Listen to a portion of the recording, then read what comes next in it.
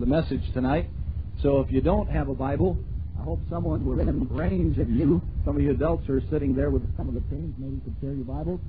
And if not, uh, look for another teenager that has one, because we'll be using them tonight to look at some Scripture.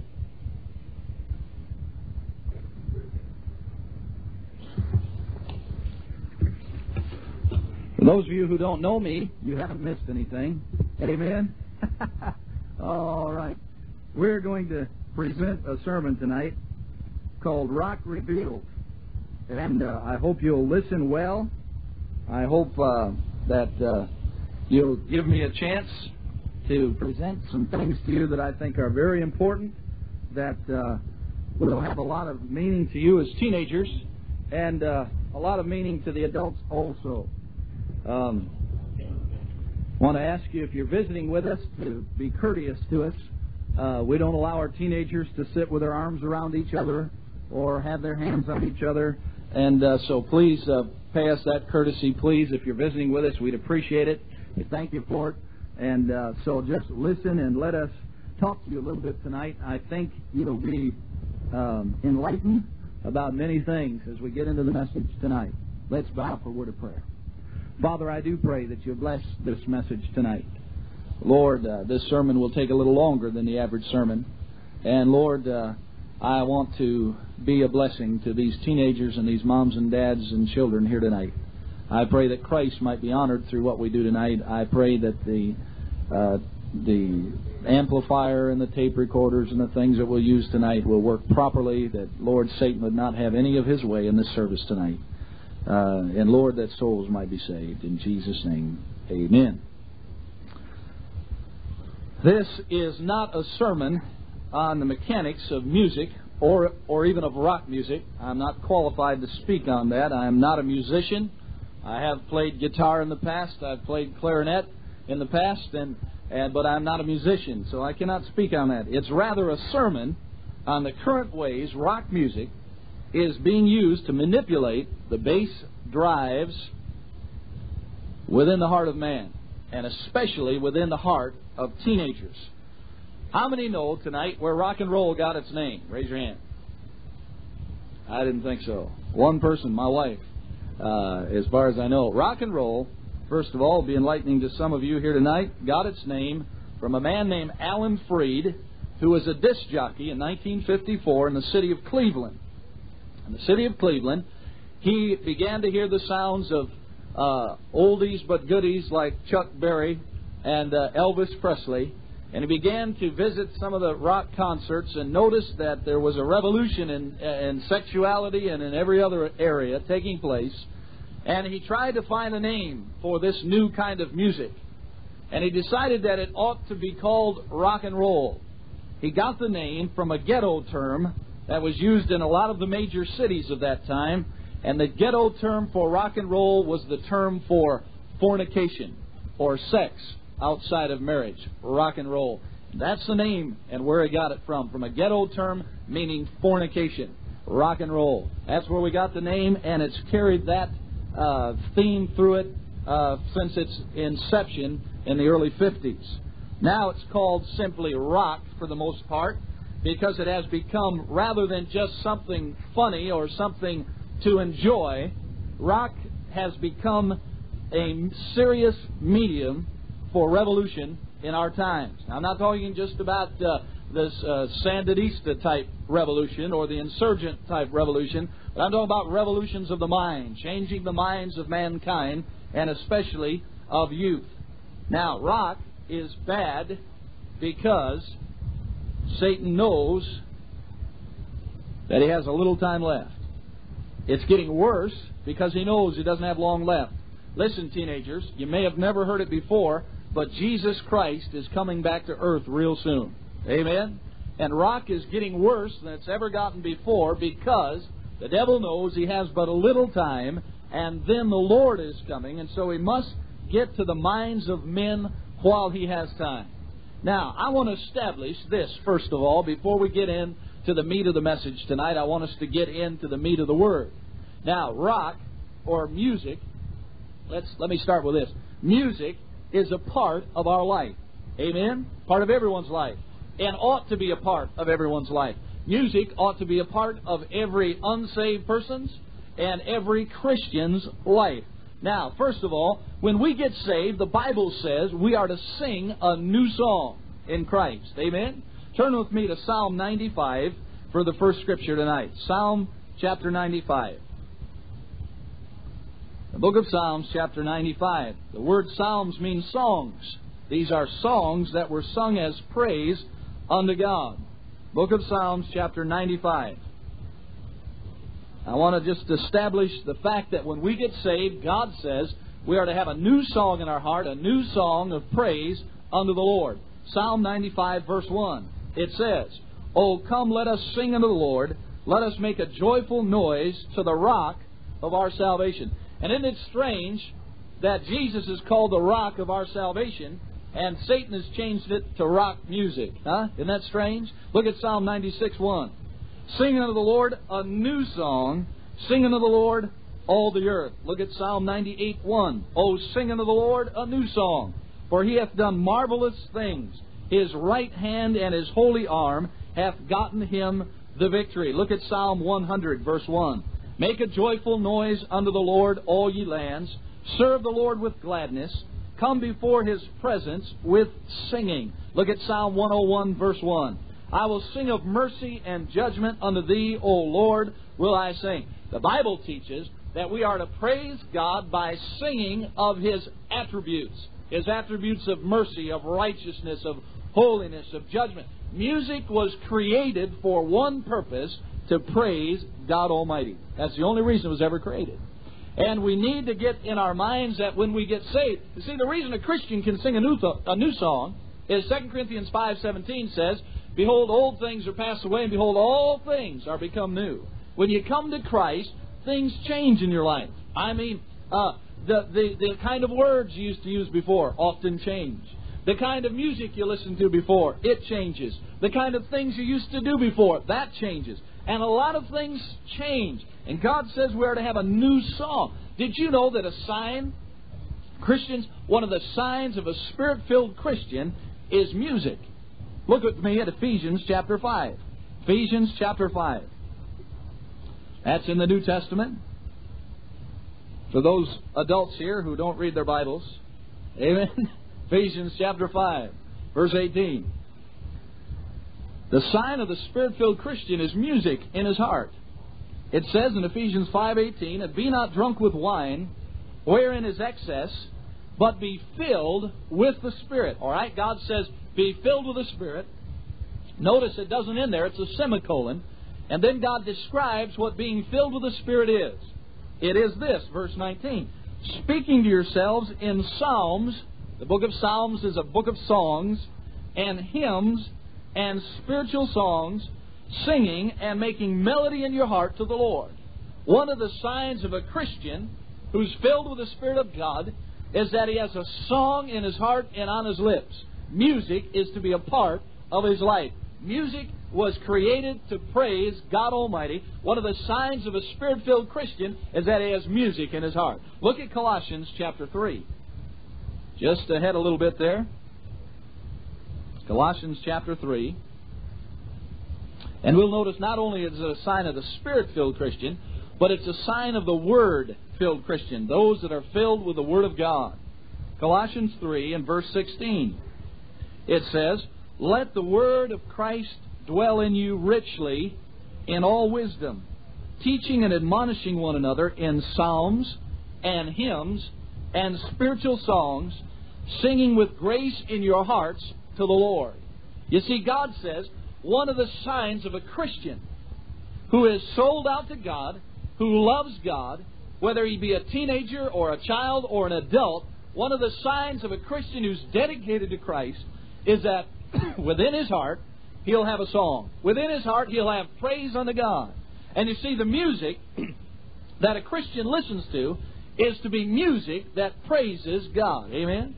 And I love to sing music that praises God. I, I, uh, whenever I get excited, I sing unto the Lord a new song. I sing something. Some, you know what I do sometimes? You're going to think I'm insane. I'm not going to. I'm not going to demonstrate this. I will demonstrate some things later, but not this. Sometimes when I when I get happy in the Lord, I'll take a psalm that I've memorized and I'll just make up music to it and sing it. I, I don't know a thing about what it says. I mean, about what I'm singing. That is the notes and so forth. But I'll just make up a psalm and just start singing it. You know why? That's what the Bible said you're supposed to do. Man, you ought to hear me. Some of the weirdest sounds you've ever heard in your life come out of my mouth. You think rock music is weird? You ought to hear me sing one of the psalms. That's strange. But anyway, songs are to be in our heart. Teenagers, moms and dads, God said one of the signs of a spirit-filled Christian said he has a song in his heart. So let me say this to, to begin to establish a base. Music is to be a part of our lives and a very vital part of our lives. Now, there's a reason for that. God has always intended that music be in our lives. Music, listen to me now, music is for the soul, not for the body. You see? And what's happened with rock music is they've taken rock music and adjusted it in such a way that it has become music for the body and not for the soul. Music can soothe. Music can stimulate. Music can calm the nerves. Music can excite. Music can do all sorts of things to our inner man, our inner soul, because man is a soul and he has a body. You remember the story of Adam and Eve, teenagers? God said He created Adam and Eve, and He breathed into Adam's nostrils the breath of life, and Adam became a living body. Is that what it says? No, it doesn't say that, does it? It says Adam became a living soul. And the purpose of music is to speak to the soul. The the uh, black musicians in particular in our nation have have uh, dubbed their music soul music, and they have chosen the right term because music speaks to the soul. Now, let me give you a little definition I've made up. Music is an outward expression of the inward morality of the soul. Let me say that again. Music is an outward expression of the inward morality of the soul. That is, what we sing in our music says what we are way down inside. What we listen to in the way of music says what we are way down inside. And so our music can play a very important part in our life. But let me say this too music can be used for two reasons it can be used for good or it can be used for evil. Take your Bibles with me tonight and turn to 2 Kings in the Old Testament. 2 Kings chapter 3 and verse 15. 2 Kings chapter 3 verse 15.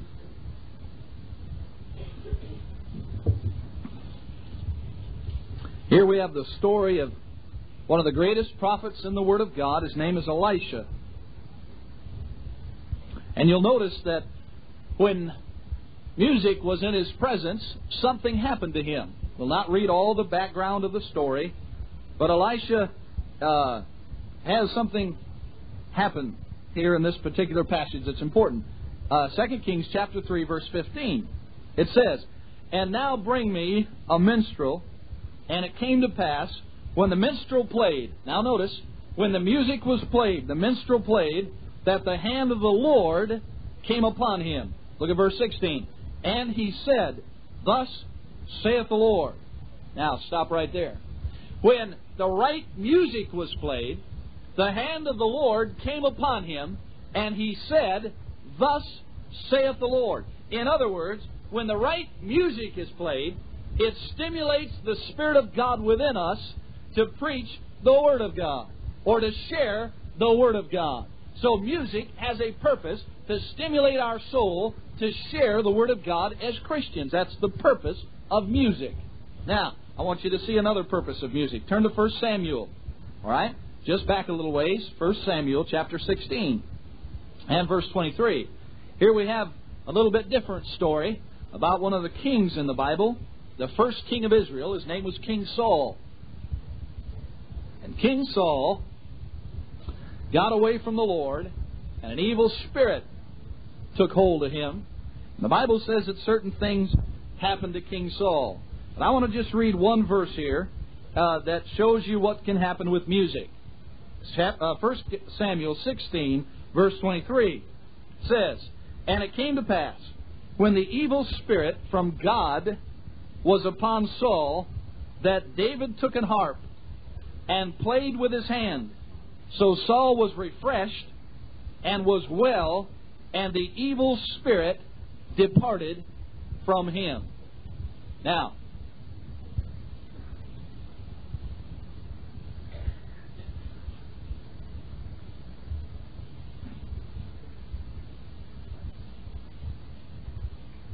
let me tell you something. Let me read that again. It says, verse 23. Let's read it together. Everybody read it out loud. And it came to pass, when the evil spirit from God was upon Saul, that David took an harp, and he played with his hand. So Saul was refreshed and was well, and the evil spirit departed from him.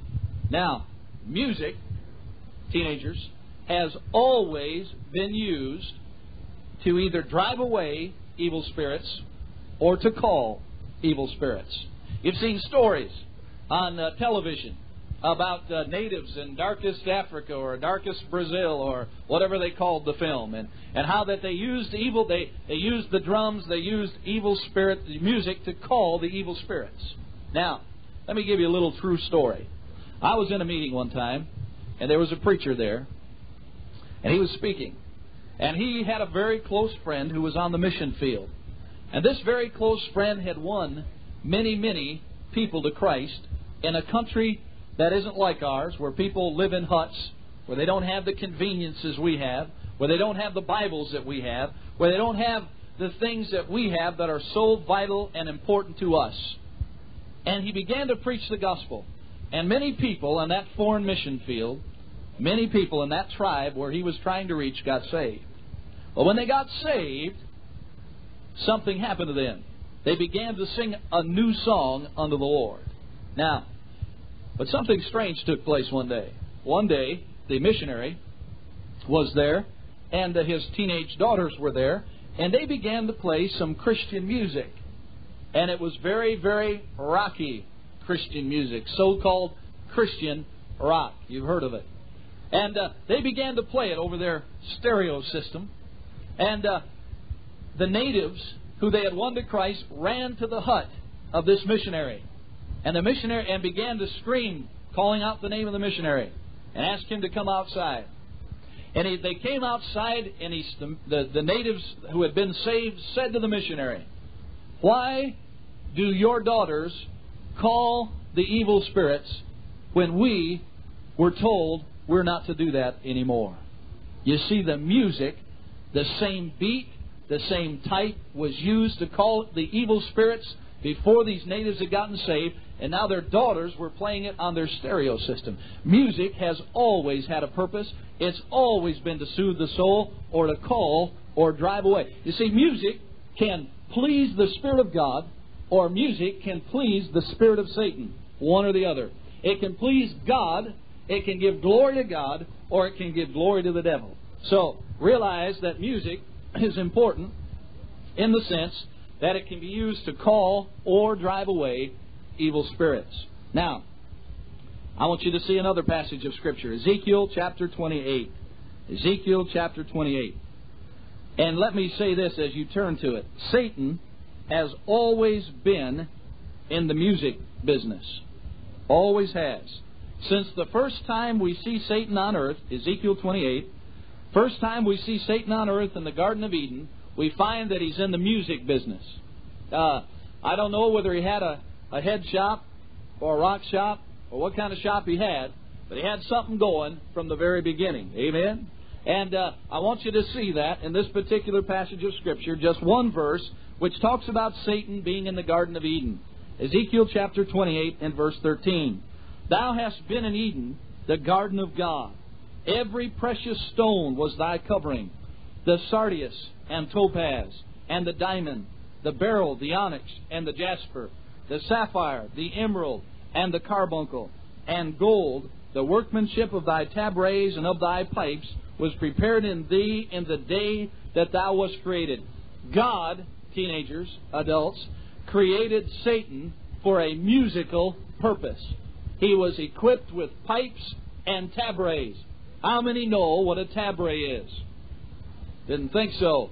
Tabrets are drums. He was equipped with pipes and drums. And he was there in the Garden of Eden. And I'm sure one of the ways that he deceived Eve into committing sin and being disobedient to God was with the music that he played. So realize this that Satan has always been in the music business. Now, Satan knows this that if he can reach the mind of a person, he can control the body of a person. So he first tries to reach the mind for the destruction of the body. The Bible warns us of that. In 1 Peter 1:13 the Bible says, "Wherefore gird up the loins of your mind. Be careful of your mind. Protect your mind." A mind, there's a commercial on television. I think it's about raising money for black universities. It says a mind is a terrible thing to lose. And that's absolutely right. A mind is a terrible thing to lose, but they're being lost by the millions in our country. Philippians 4 7 says this And the peace of God which passeth all understanding shall keep your hearts and minds through Christ Jesus. Shall keep your hearts and minds through Christ Jesus. Um, I don't know if they're leaving. They're not leaving, are they? Uh, why? Uh, all, all right, but make sure they leave the building and no one else get up to leave at all tonight. No one else move, please. All right, ushers, you see that that happens. All right. All right. Now, let me give you some things tonight. Establish the fact that Satan's always been in the music business. That God's established music for the purpose of reaching the souls of men, and uh, that that music can be used for good or for evil. Satan uses rock music to bring the listener into another world and into another mind. Let me read you something. Dr. Irving Goldaber of Miami is a sociologist who's an expert who taught for 22 years.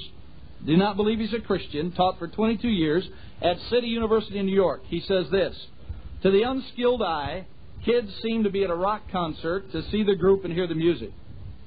He said, but the real reason is to enter into another world, another nation, an enclosed nation where the volume of sound surrounds them like a bubble. Within this bubble is a style of life free and apart from the outside world. Kids run this nation. Here they can vent the pulsating psychic, social, and sexual power that is percolating in them that they can't release in the controlled world outside.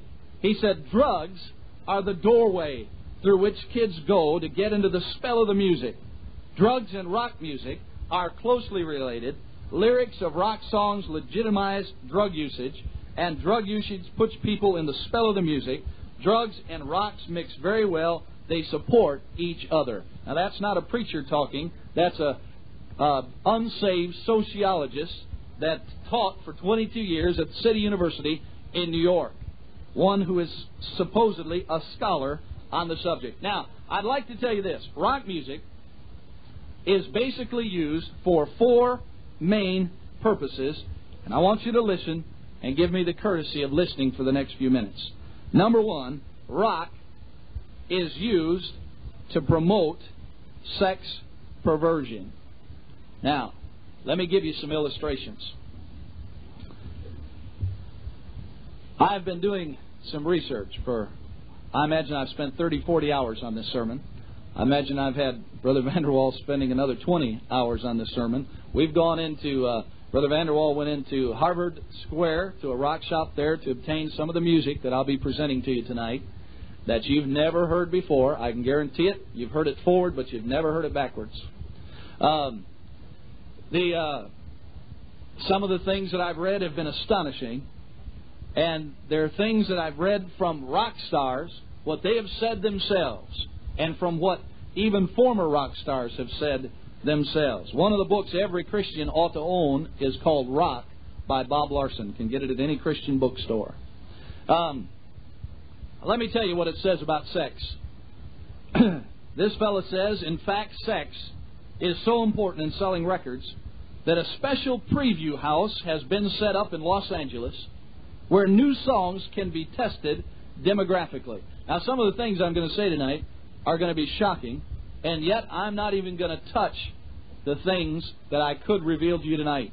I could show you pictures, I could show you, uh, read you things uh, that would literally blow you off your seat, but I can't do it.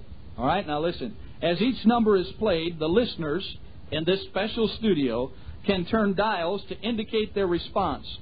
Some seats are equipped with basal skin response sensors that measure involuntary spasms of the nervous system. The programmers, teenagers, I will not tolerate any laughing or any talking while I'm preaching. Absolutely none. I mean that. I will not tolerate it. You will shut your mouths while I'm talking. All right?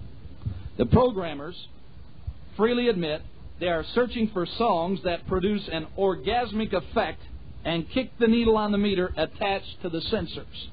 So now they're taking rock music into studios and testing to see what it does to the body sexually before they ever put the album out on the market. Because it doesn't appeal sexually, it will not sell. A gay label has just been uh, introduced called Olivia Records. It has been formed to market lesbian albums with songs like Gay and Proud and Women Loving Women. Before their professional demise, the female trio called LaBelle appealed to a highly adorned gay following. As singer Nona Hendryx put it, I like appealing to both men and women. I don't limit myself. I'm all sexes. The group called County, the most outrageous in the area of homosexuality, appears in full drag with a purple wig and rhinestone studded bathrobe. He declares, I always wanted to be a homecoming queen. I was such an unlucky little girl. He typifies the depravity of the gay rock scene by comments like this. Now listen to this. Quote, Jesus Christ himself was a strange boy. County's songs include such songs as It Takes a Man Like Me to Love a Woman Like Me. Promotes sex perversion. The second thing it promotes is revolution. I'm not going to get into that much tonight. The third thing it promotes is drugs. Um, let me read you some quotes. I can sing better after shooting smack, which is heroin for those of you that don't know, in both arms than after eating too much. Quote, Linda Ronstadt. Quote, Tom Johnston of the Doobie Brothers. We were sitting, passing around a joint, which is nicknamed in their neck of the woods a doobie, so we called ourselves the Doobie Brothers. Glenn Frey of the Eagles. I'm in the music business for the sex and narcotics. The Bee Gees. We avoid all hard drugs like cocaine, although we do smoke marijuana. Then it goes on into something else. Promotes sex, and mainly sex perversion. Promotes uh, revolution. Promotes drugs. And fourth, the newest thing, the hottest thing that rock music is beginning to promote is the occult or Satanism. Jefferson Starship recorded a Paul Kantner song, Your Mind Has Left Your Body. A later album contained the song Light the Sky on Fire, dedicated to the great god Kocoa Khan. Singer Phoebe Snow tells a chilling story of periodic communications with a Ouija board, accompanied by her husband who claims to have his psychic experience since his teens. The board foretold her pregnancy five months in advance, and she experienced a variety of uh, poltergeistic phenomena, shaking beds and mirrors, the disappearance of objects. Although this brush with demons scared her so badly, she eventually abandoned the Ouija board. She still gives psychic readings and includes a song about parapsychology, Faith is Blind. Now listen to this. I was taught in high school by the sister of Joni Mitchell.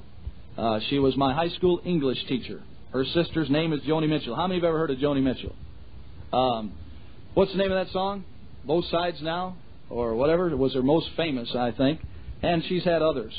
Another female artist, Joni Mitchell, credits her creative impulses to a male muse, which is a male demon, named Art. She feels she is married to him and often roams naked with him on a 40 acre retreat she owns. Her responsibility to the Spirit is so strong, she declares that when He calls, she will forsake lovers and even excuse herself from parties. One of the foremost rock occultists is Ritchie Blackmore from Deep Purple, who, went, who then split to form his own group, Rainbow. Blackmore admits he regularly holds seances to get closer to God. And while he performs, he astral projects out of his body to float about the concert hall. he records in a 17th century castle, supposedly haunted by a demon who is a servant of the 4,000 year old Babylonian god, which we all know by the name of Baal.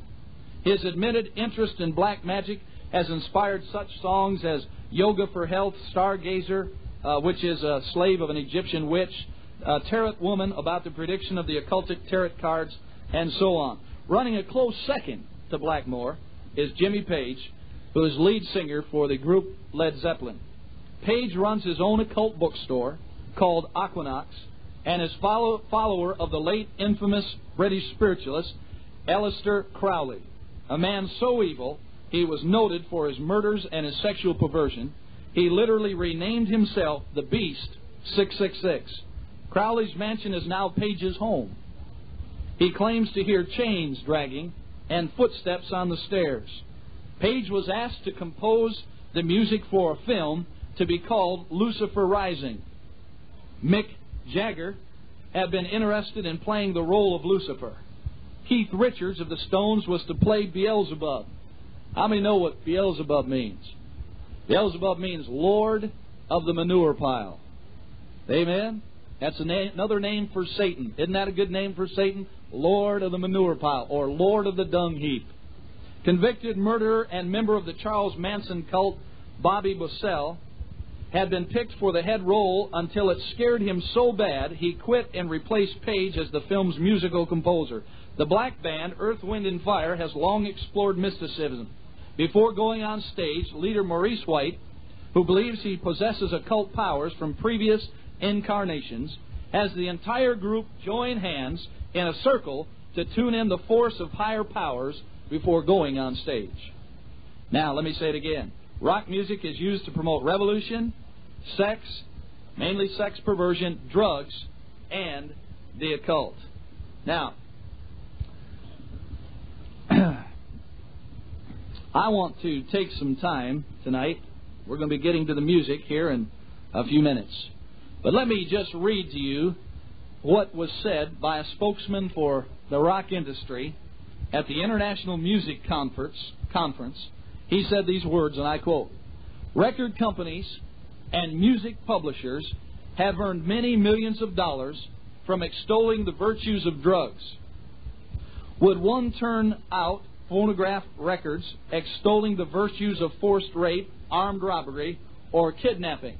I'm quoting a rock producer, one who's in the business. He produces records, makes money off it.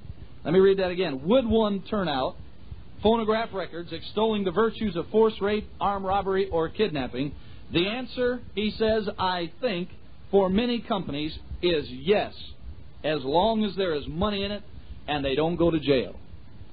Now, I'll tell you, kids, you are being manipulated by adults. You think it's all for you, but the adults run the rock industry. The teenagers, teenagers who produce rock and the rock stars are simply puppets in the machinery of adults who are pushing their garbage on the teenagers of today. If there's anybody you ought to rebel against, it's the rock stars who are taking you over at their own uh, for their own profit and putting the money into their pocket. Satan can only work. Listen, the reason Satan hates this sermon tonight is he can only work in darkness.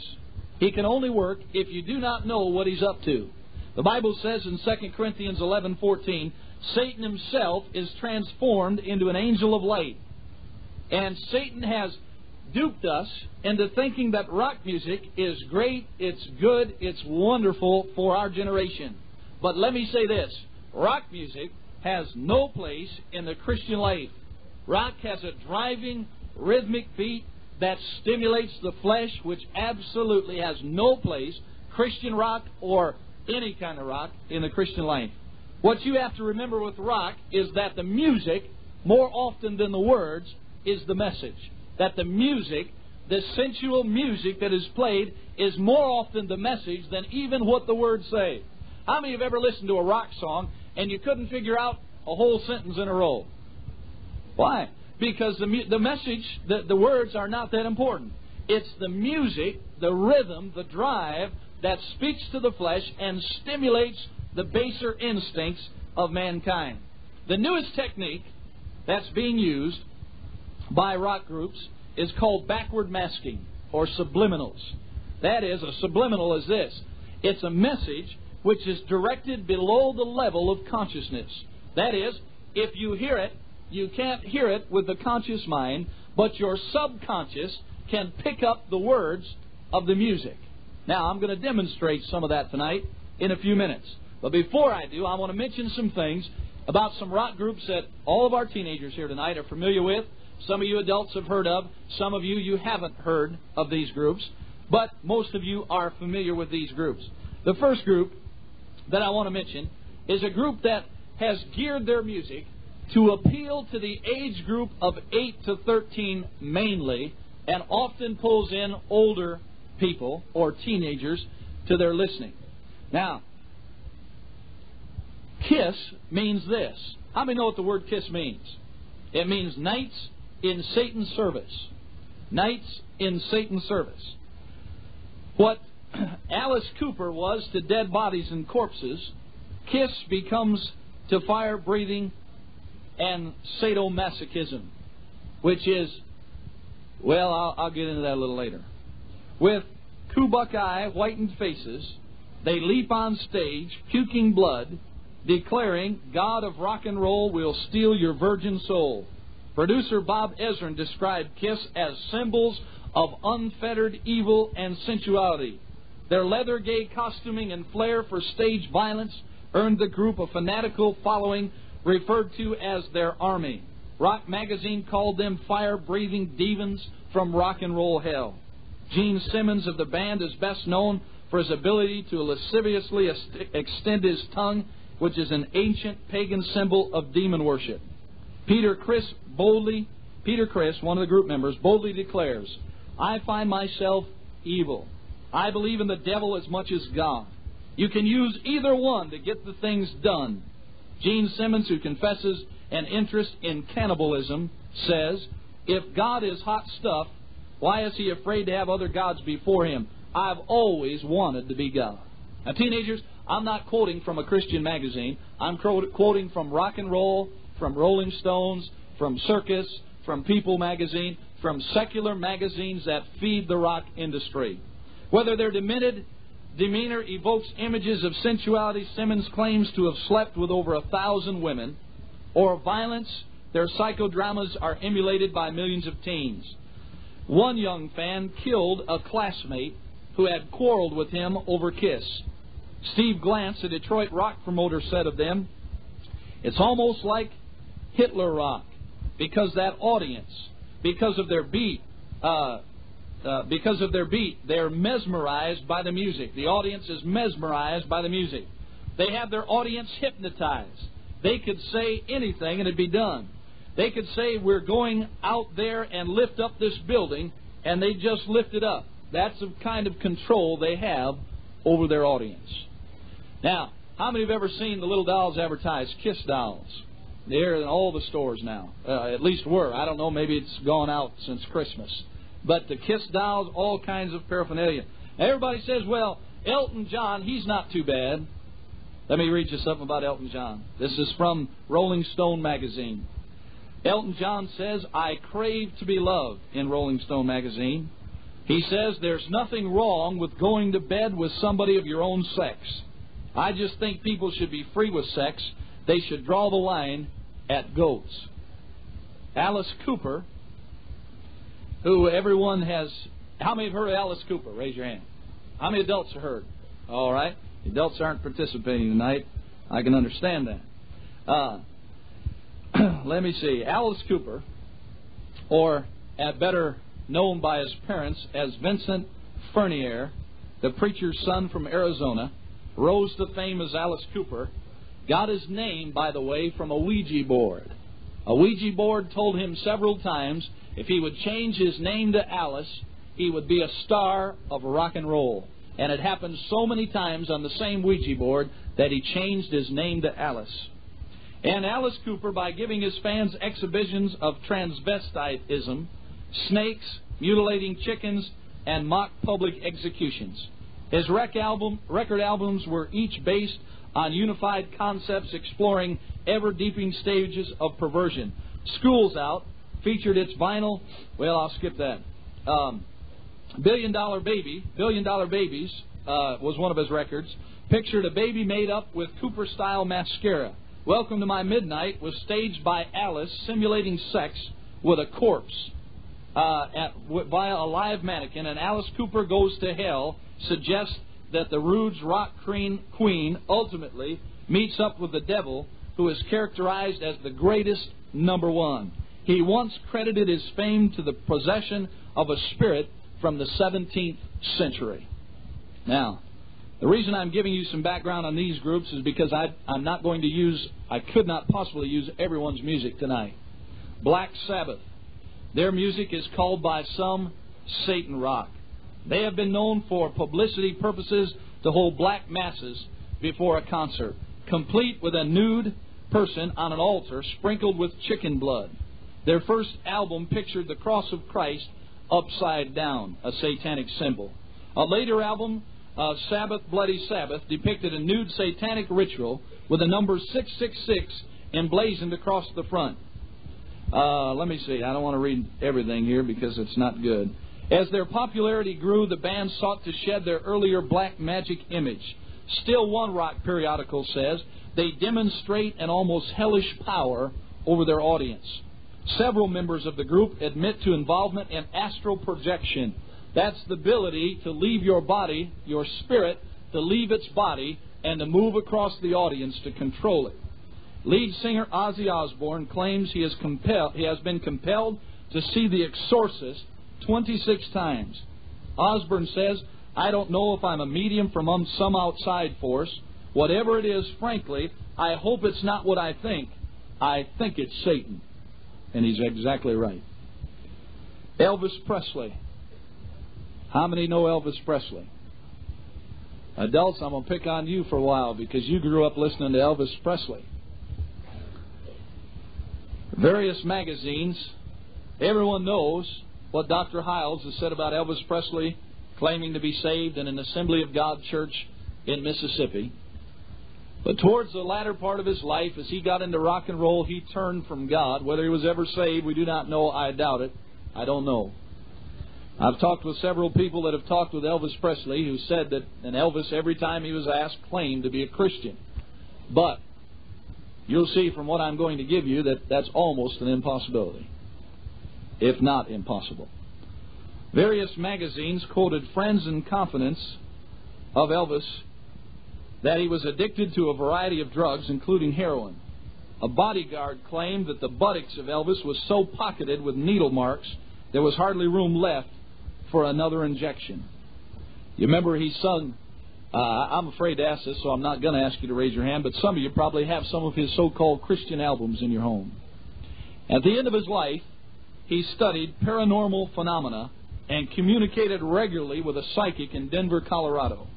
Elvis claimed that he could form clouds with the power of his mind and would sometimes load friends into a limousine for a midnight visit to the corner or the graveyard. In fact, one close friend contended that Elvis actually believed that he was Jesus with the power to draw out diseases in his hands. He turned from an Assembly of God choir boy into a devotee of the Hindu mystic Paramahansa Yogananda, founder of the Self Realization Fellowship.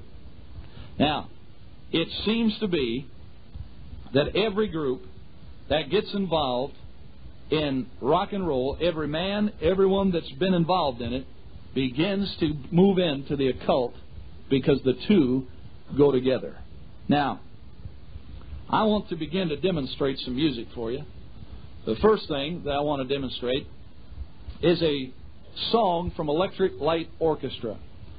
This song is, I'm going to play it forward first, then I'll play it backwards. But this song is trying to get the teenagers to listen to the music as it goes uh, in a backwards direction. Now, I want to demonstrate to you this music tonight, and you listen. Electric Light Orchestra.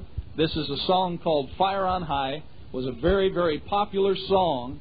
Uh, Electric Light is not as popular anymore, but they were around for quite a few years. They're a very popular group.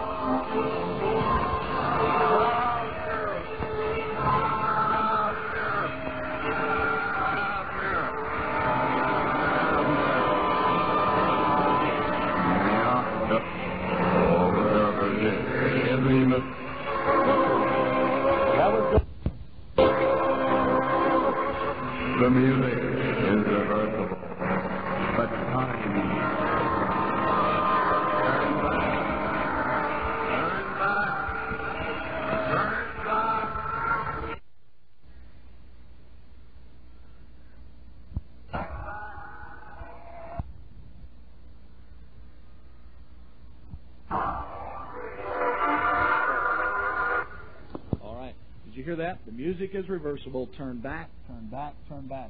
Speaking. Now remember, that's not to the conscious mind. That's to the subconscious. It's on the album. It's on every album they ever sold of Fire on High. But it's telling the subconscious mind to listen to the music backwards. The music is reversible. Turn back, turn back, turn back. Getting them to tune themselves in to the backwards message of the music used called backward masking. Masking. Now subliminals are so powerful that they were at one time used on television and on the movie screen. Uh, they they tried it out in certain theaters. They would they would show a film, and they would across the across the screen on the film that they showed, it would say you're thirsty, you want a soft drink, and they found out that it worked so well that you couldn't see it with a conscious mind, but your subconscious mind saw it. That it worked so well, hundreds of people would get out of their seats immediately and go get a soft drink. That it was such a powerful mind controlled tool that it has been outlawed in America. But it has not been outlawed on just audio cassettes or records, just on audio visual. It ought to be outlawed on both. Now, the next group that I want you to listen to is the group that everyone's heard of called the Beatles. This is a song that they recorded some years ago called uh, Revolution Number Nine. Now, the Beatles, as most of you know, were turned on to the Eastern cults, the Maharishi Mahesh Yogi, who came and was introduced to the American people, American teenagers in particular, by the Beatles and by the Beach Boys. Though before he came, there weren't but a few thousand followers of the Eastern religion which Mahash, uh, Maharishi Mahesh Yoga brought to this nation. But within one year, there were over a million followers of the Maharishi Mahesh Yogi. And uh, he was introduced to the Beatles by George Harrison. They began to follow him.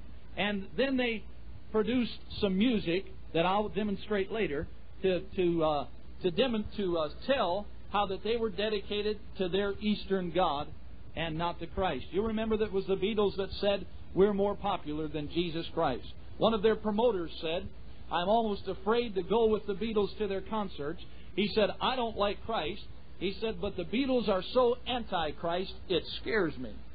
Now I want you to listen. This will be going forward, first of all. This is on the album, or, or the song, Revolution Number Nine, one of the most popular songs in history. Number nine, number nine, number nine, number nine, number nine, number nine, number nine, number nine, number nine, number nine, number nine, number nine, number nine. All right, now I'm going to play it backwards, and I want you to listen. If you remember, some years ago, the Beatles wanted, did try to figure out if they could convince their audience that Paul McCartney had died. It was a big uh, promotional thing that Paul McCartney had died behind the scenes, and what this will say backwards is "Turn me on, dead man." In other words, Paul McCartney is now dead, but turn me on, dead man. A backwards message. Remember, you can't hear this forward. It says number nine, number nine, number nine forward, but backwards it says "Turn me on, dead man." You listen.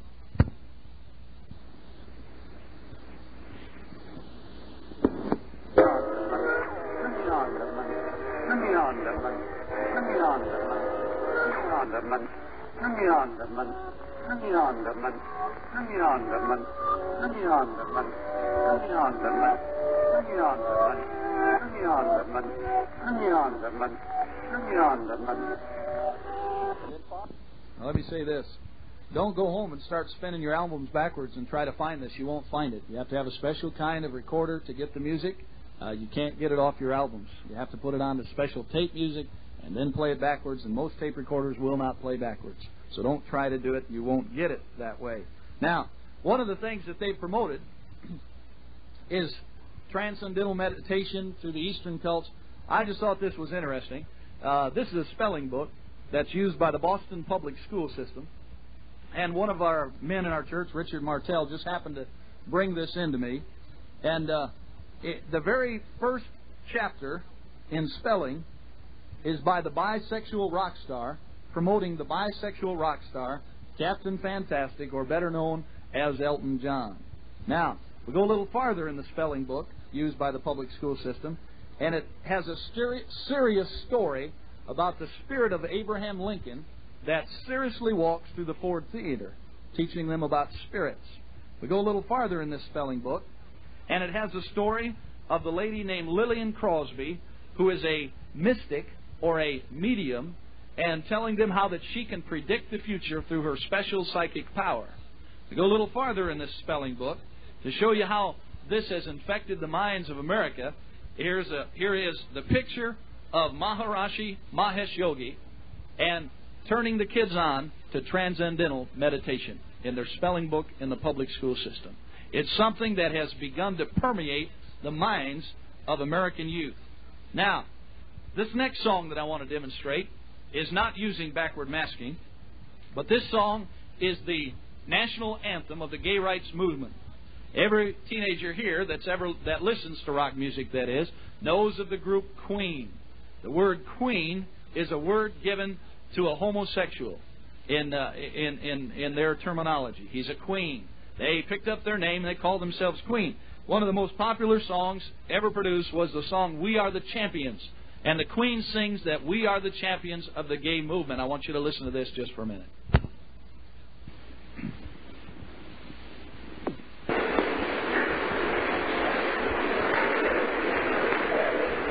I paid my dues time after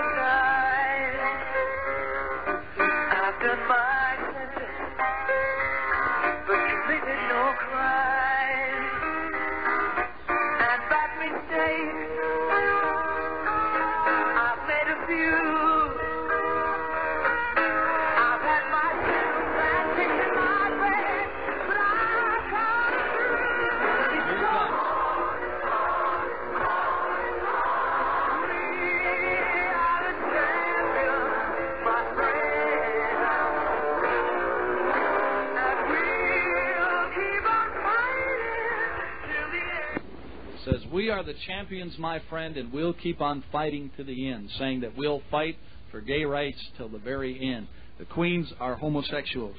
Then one of the most popular groups of all times, most everyone's heard of them, Led Zeppelin. Let me give you a little background before I play their most famous song, Stairway to Heaven, which is the most requested song in all rock history. Led Zeppelin, lead singer Robert Plant, Robert Plant admits to a fascination with black magic but can hardly hold a candle to the occultic interests of Jimmy Page. Remember, I told you that Jimmy Page bought the the uh, the demon-infested mansion of Aleister Crowley, and uh, has an occult bookstore in England. But uh, it goes on to say this: to charges that uh, Page is a practicing witch, he says, "I do not worship the devil, but magic does intrigue me." Zeppelin's album Presence displayed an oddly shaped object that has stirred speculation to it, uh, of its meanings.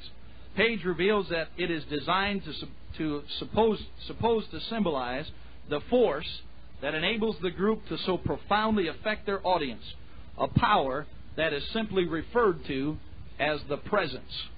And they invoke the power of the presence when they put on their rock concerts.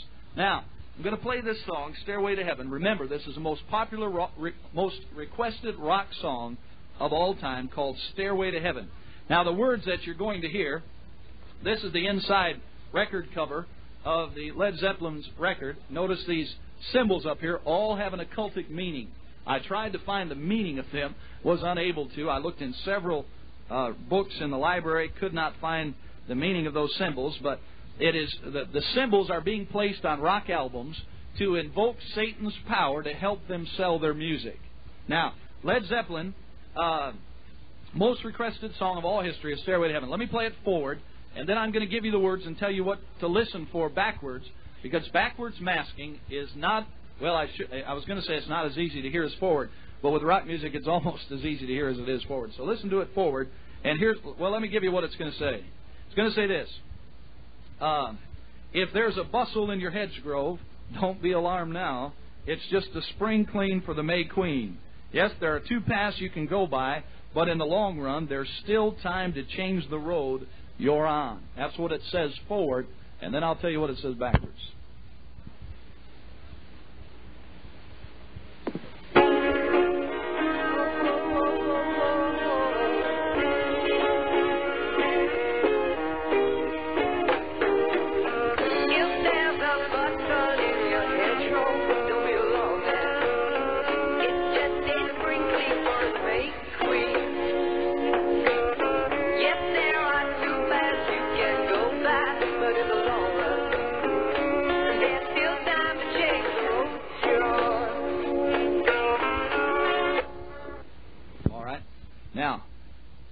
Same music backwards, and the message is totally different.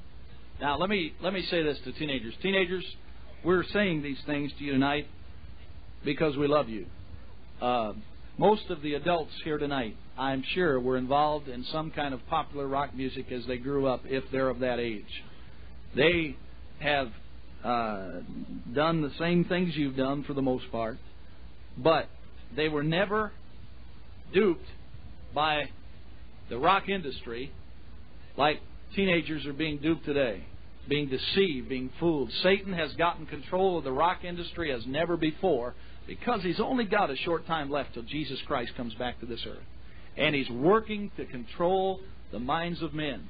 Now, you've just heard Stairway to Heaven forward. I want you to listen closely. I may have to play this twice. Here's what it'll say backwards, so listen to it. It says, I will sing because I live with Satan. Here's to my sweet Satan. In a little time it'll make me sad, whose power is Satan, my sad Satan. Now listen to the words and try to pick it up. Listen closely.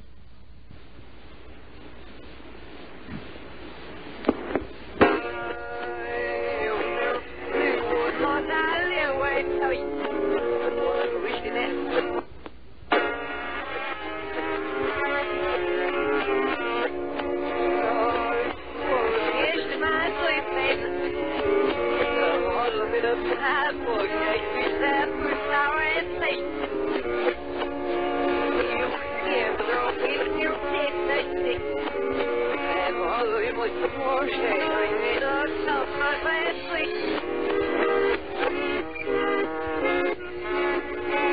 right, were you able to pick it up?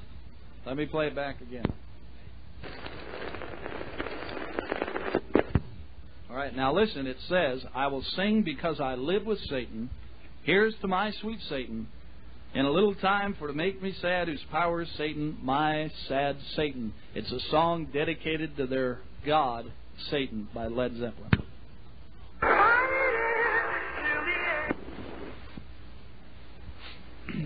Be here in just a minute. First thing he says is, I will sing.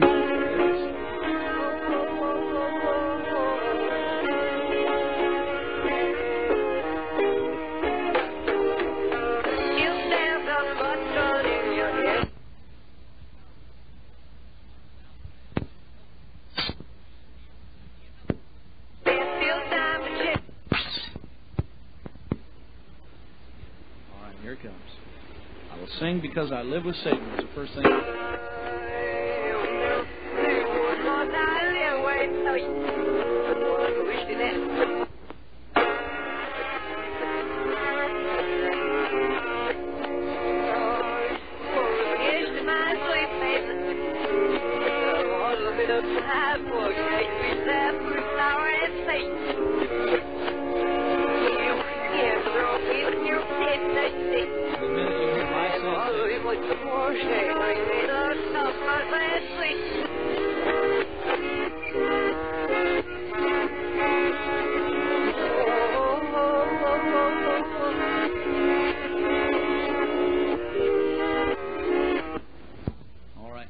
Now, Led Zeppelin dedicated that song to Satan. I will sing because I live with Satan. Here's to my sweet Satan in a little time for to make me sad, whose power is Satan.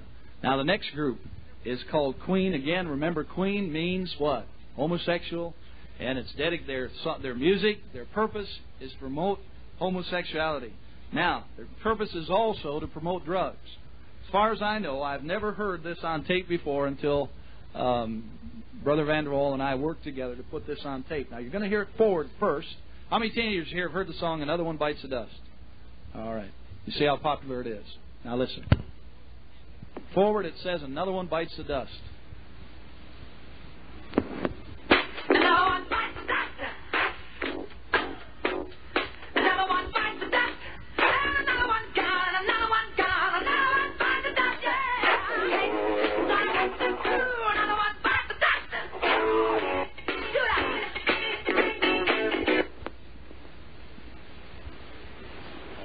Now I'm going to play it again, and I want you to listen closely. For when I play it, um, you're going to hear something else. It says over and over again, another one bites the dust forward. But backwards, if you listen closely, it's saying to the teenager over and over again, decide to smoke marijuana. Decide to smoke marijuana. Decide to smoke marijuana. Listen closely.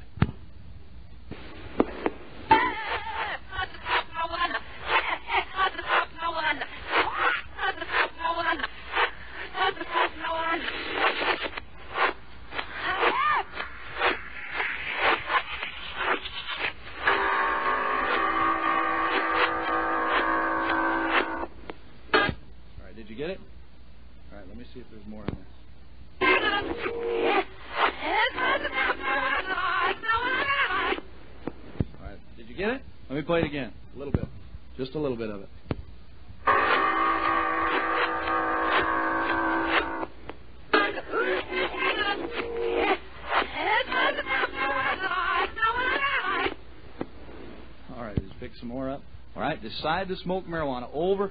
That song must say another one bites the dust hundreds of times, I guess. I don't know. But every time it says another one bites the dust, and you can't you can't figure out how these songs are produced by by by saying the words backwards.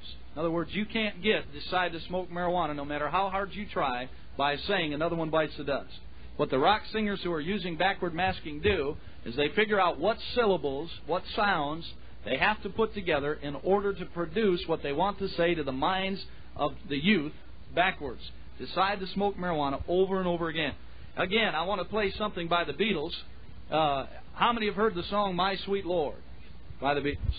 All right, almost uh, probably every adult, when you hear it, you've heard it. Even the adults have heard that. It's been picked up by a lot of people and used over again. But "My Sweet Lord" was written as a dedication to the Maharishi Mahesh Yogi, and uh, not not him in particular, but to the God Hare Krishna. How many have ever heard of Hare Krishna? All right? Now I want you to listen close. You may have never heard this before. First it says, My sweet Lord, and it has some music in the background. Then I'll play the, the other part. This is by the Beatles, My Sweet Lord.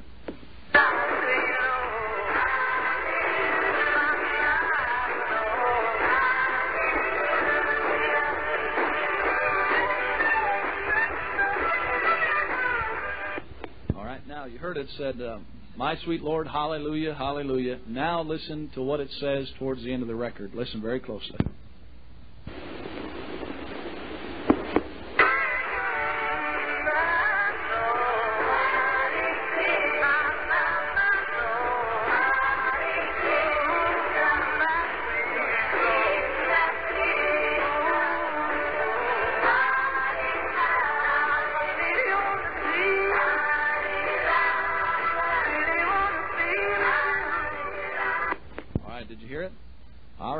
Krishna, Hare Krishna. Let me play a little bit again, okay? Listen.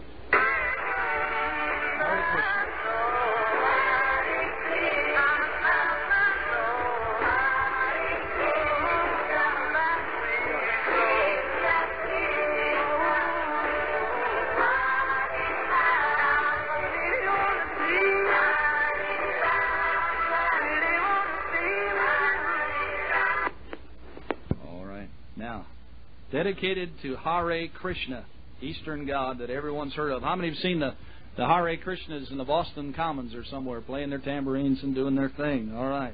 All right. Now, one of the most blatant songs ever produced, uh, dedicated to the devil, is the Rolling Stones song Sympathy for the Devil, which has been declared as the national anthem of the Satan Church. Um, Richard, who is Richards, who's one of the members of the group, says, and I quote, "There are black music- magicians who think we are acting as unknown agents of Lucifer." To support such speculation, the Stones' songs have ranged from the espousal of violent revolution in Street Fighting Man to the anthem of Satanists' sympathy for the devil. A Stones concert is an orgy of sexual celebration with Jagger as the head cheerleader. Strutting and prancing across the stage, his androgynous performance evokes the delight of both men and women. Keith Richards once observed that the Stones song spontaneously like inspiration at a seance. He explains that the tunes arrive in mass as if the Stones, as songwriters, were only a willing and open medium, with voodoo incantations and the screams of demon possession accompanying cuts like Dancing with Mr. D or Dancing with the Devil. One is left wondering if perhaps the satanic imagery of Mr. Jagger and company is all connected. All right? Now, let me uh, read the words before you listen. I'm not going to play the whole song, but a part of Sympathy for the Devil. Uh, it's very hard to pick up the words. Unless you buy the words, you almost can't pick them up. Unless you listen to it a thousand times and really listen hard. But I want you to realize that Mick Jagger is singing this song in the first person. That is, just as if he is Satan himself. And he very may well be possessed of Satan himself. He says this Please allow me to introduce myself. I'm a man of wealth and taste. I've been around for long, long years, stolen many a man's soul and faith. I was round when Jesus Christ had his moment of doubt and faith, accusing Christ of doubt and faith. I made sure that Pilate washed his hands and sealed his fate.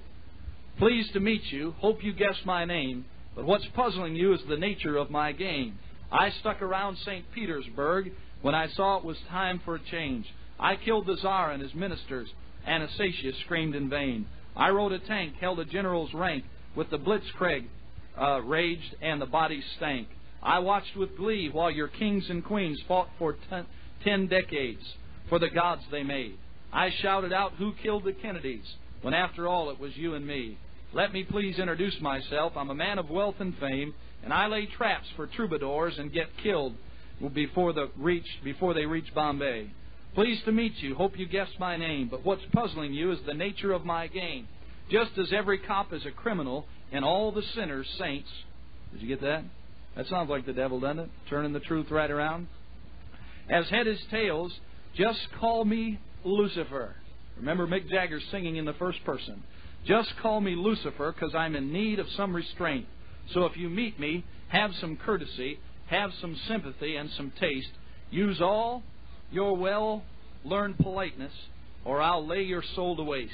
Pleased to meet you. Hope you guess my name. But what's puzzling you is the nature of my game.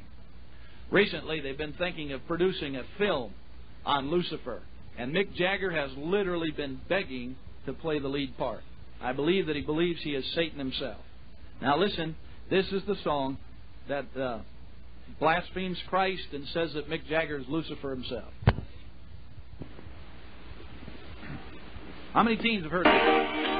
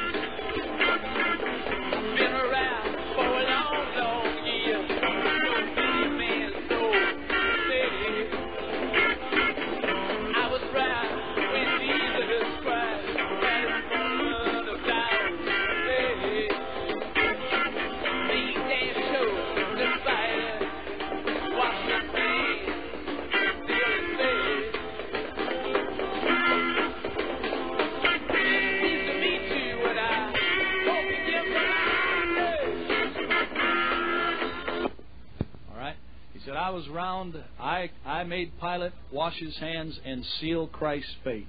He made sure that Christ was crucified. All right?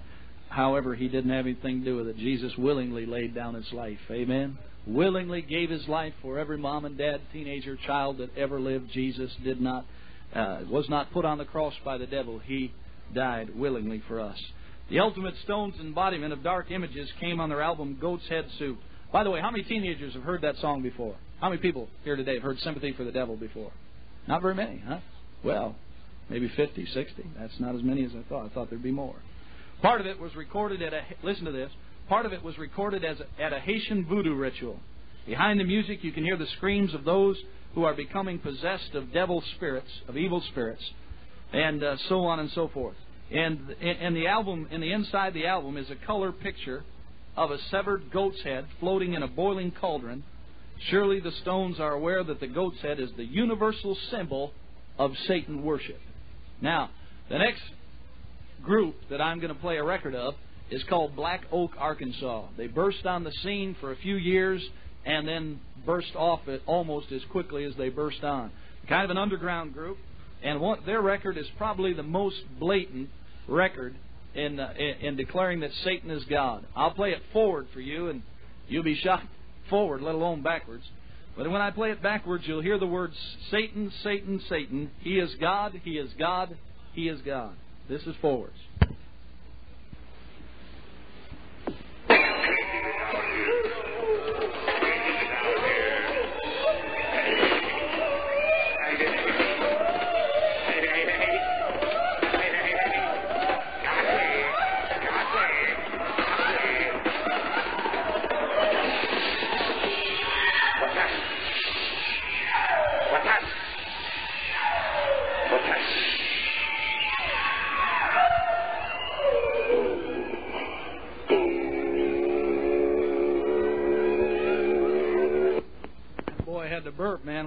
Burped, he burped, didn't he?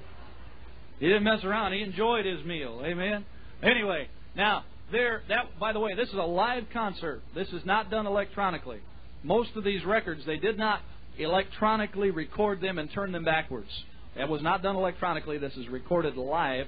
They had to figure out the syllables to say to get Satan, Satan, Satan. He is God. He is God. He is God. Now, you heard him say it sounded like he was saying, "What's happening?" Didn't you hear that? Did you hear that? Now, those syllables put together, uh, it sounds like what's happening. That's not what he's saying. It's just a bunch of syllables. Placed backwards, you'll hear the words. It'll come on like this. Now you got to listen closely to this, or you'll miss it. It comes on like this: Satan, Satan. Now listen closely.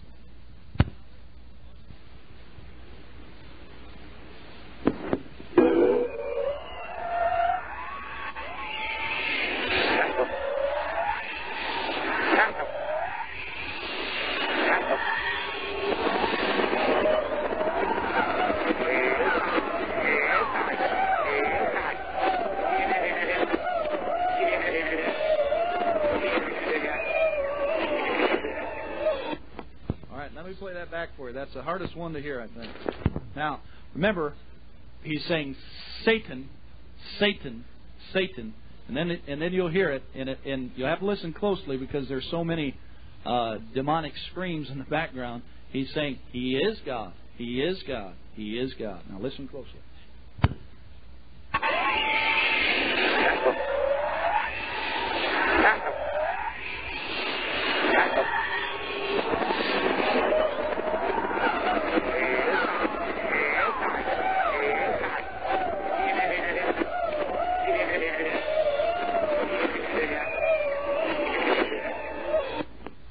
To listen to that one very closely. Said very quickly, He is God. He is God. He is God. Satan is their God. Now, Satan, young people, has literally taken hold of the rock industry. And Satan is perverting the minds of our youth and many adults alike through rock music. It has become the medium for Satan to use to control the minds of mankind. If Satan, the Bible says that Satan is the god of this world in 2 Corinthians chapter 4 and verse 4, and that Satan is transformed into an angel of light, and that he hath blinded the minds of men, blinded their minds. So you don't have to be in darkness to be blind. You can be in darkness spiritually and be walking around in sight. Satan is blinding the minds of men. Now, I want to say something else. I want you to turn in your Bibles just for a minute, and I'm going to play some more music, demonstrate some more music for you. Turn to 2 Corinthians chapter 10, and let me share just a couple more things with you tonight in the way of music, and then we'll be through. 2 Corinthians chapter 10, and I want you to look at verse 12.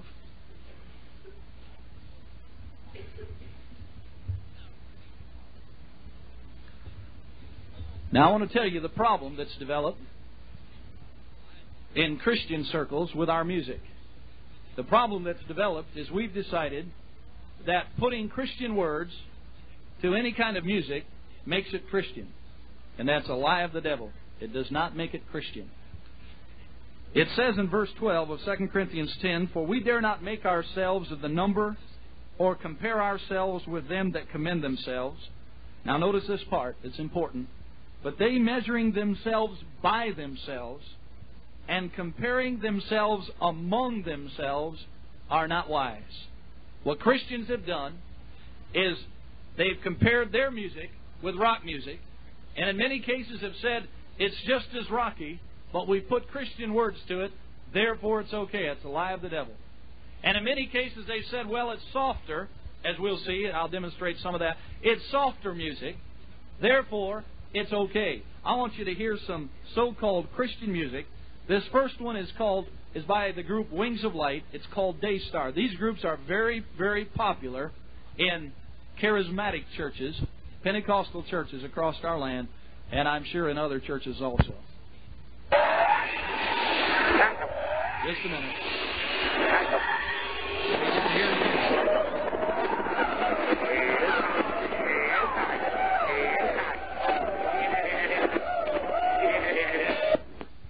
Not the Christian music. But this isn't either. It's called Wings of Light by Daystar. You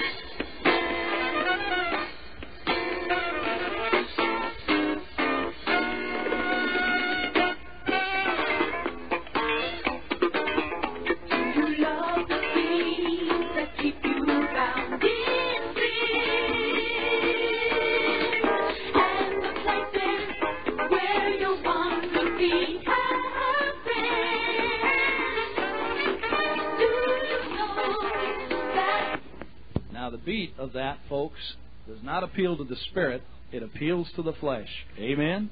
All right? Now, I want you to listen to another so called Christian singer, Keith Green. Here he write, here's his song, Dear John Letter to the Devil. Notice that the music, notice that this particular singer tries to sound as close as he can to Mick Jagger.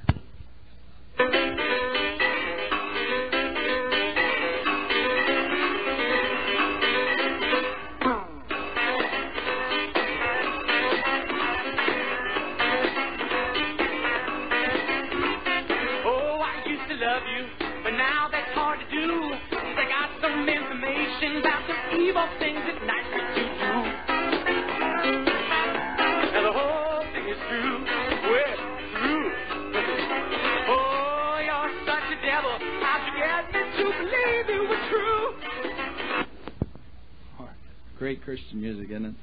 All right. Just because you put Christian words to it does not make it Christian music. The beat and the music is the message. Now, I want you to listen to this group. This group is a little deceiving. This, as far as I know, how many have heard of the group, the second chapter of Acts? How many's ever heard of that? It's one of the most deceiving groups out today. This is their song. I want you to take your Bibles, turn to Psalm 93, the book of Psalm, chapter 93. I want you to follow the words of this song.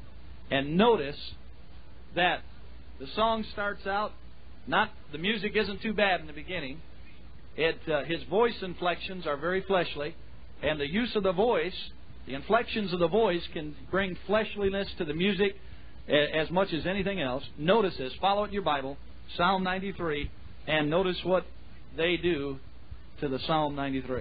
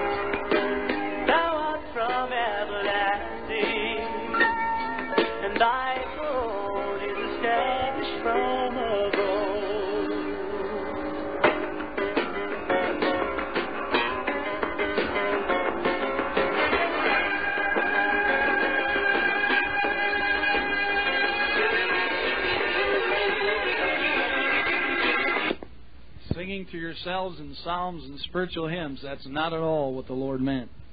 A song to praise God must praise through the Spirit, not through the flesh. That song is absolutely of the flesh.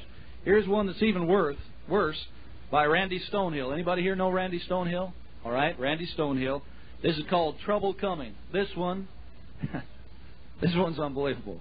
Uh, called Christian music. Christians, if you've been deceived by this garbage, something's wrong with your brain. And I can't believe it. What else to say. Listen.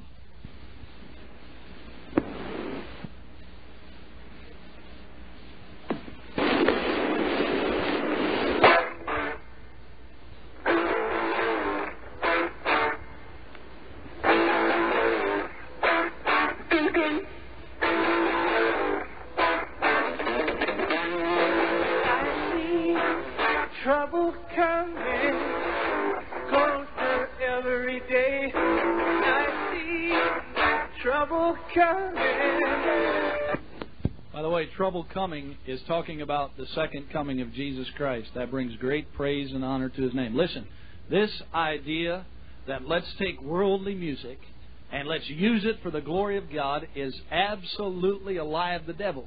The Bible says that they, comparing themselves by themselves, are not wise. You can say, well, we'll compare our music with the music of the world, and ours isn't bad. We've put Christian words to it. I want to I want to play some music, and I think I think every Christian here has been saved very long. Has heard of this next lady, and some of you have been with me up till now, but you're going to be against me now, because I'm going to play some music for you by a very popular singing lady, who everybody knows. She sung in Billy Graham crusades.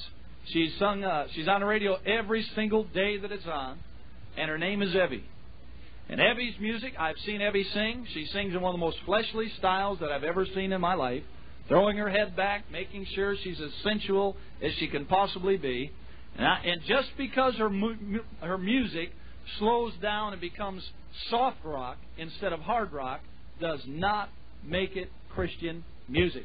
I'm losing some of you now. You don't agree with me. You listen.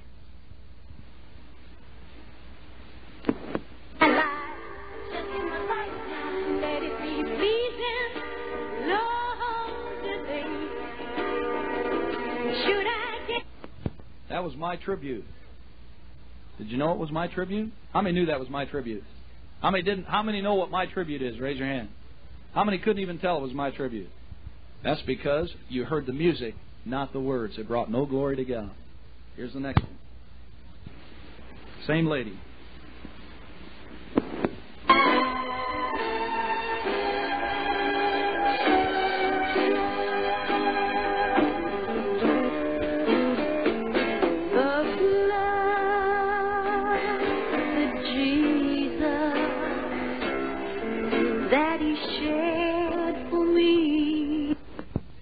Two instruments did you hear most? What did you hear most in that in that music? Huh?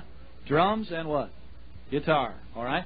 The words were not important to Evie. What was important was the music. That's absolutely wrong.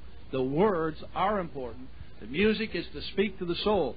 Now, so far, you've probably said, well, those aren't that bad. Well, in your opinion, they might not be. They're soft rock.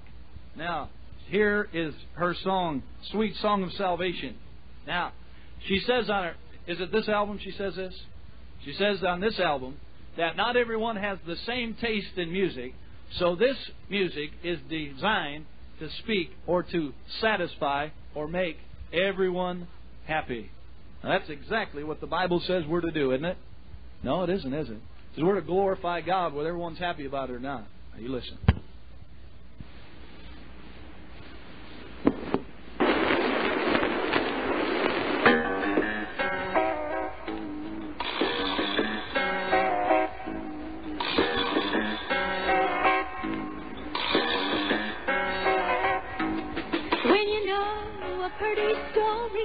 You don't let go.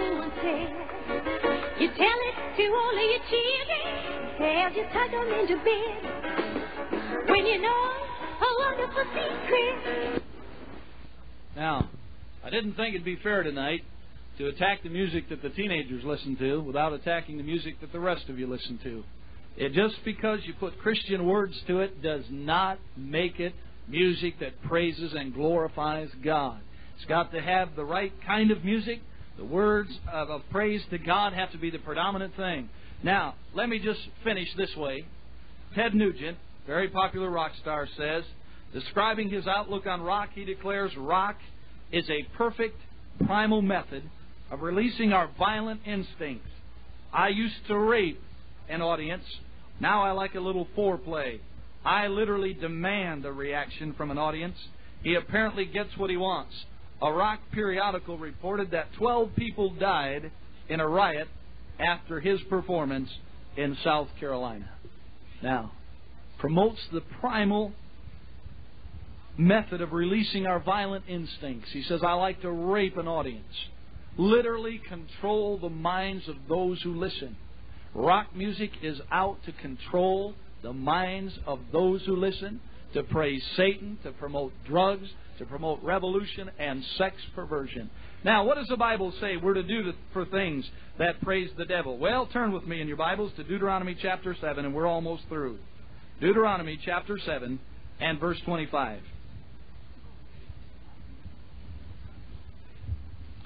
I heard a fellow say one time that he listened to rock music on a regular basis. He said, I got saved, and he said I had hundreds of rock albums.